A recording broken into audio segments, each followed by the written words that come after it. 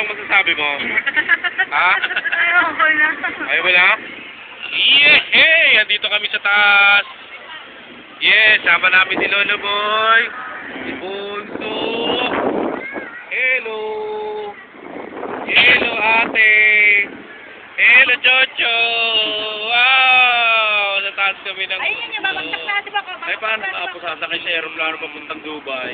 Gagawin niyan, tayo, tatakpan niya yung bintana. Ayun.